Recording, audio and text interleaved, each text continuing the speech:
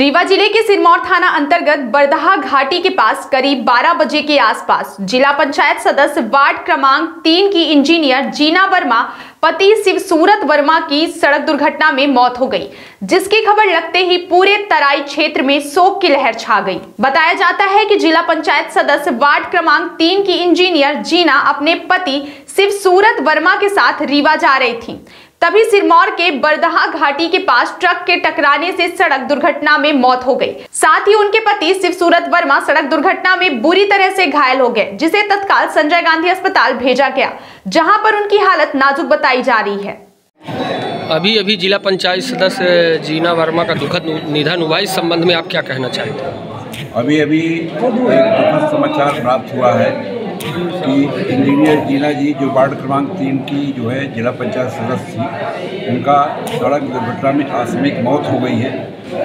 इसी वजह से हम लोगों ने आज की ये सामाजिक सद्भावना संगम का जो कार्यक्रम था, उसको स्थगित कर दिया है और उनके प्रति शोक संवेदना व्यक्त किया है और उनके इस दुखद समाचार को सुन करके हम लोग बहुत ही विक्षिप्त है और काफ़ी इस दुर्गम वातावरण में मैं उन्हें जो है और उनके उनके, उनको जो है श्रद्धा सुमन अर्पित करता हूँ। उन, तथा उनके परिवार को जो है इस शोक संवेदना में सहन करने की शक्ति उन्हें ईश्वर प्रदान करने, ये मैं कामना करता हूँ। सूरत वर्मा वो इंजीनियर वर्मा।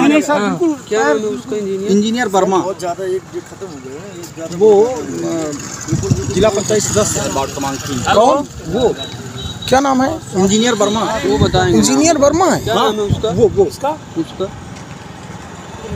वो इंजीनियर वर्मा बतला रही है। इनकी मिसेज है। अच्छा भैया का नाम है? शिव सूरत वर्मा। शिव सूरत वर्मा।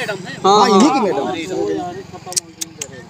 ट्रक वो अपने तरफ़ करेलम खड़ा हो गया ट्रक चढ़ गया हाँ लगा करेलम कौन भाई ये ट्रक बाइक किनारे कर दीजिए भैया वो बाइक किनारे कर दीजिए इसको ऐसे सीधा कर बस बाइक हटा दे सर आगे हाँ बाइक आगे कर दीजिए।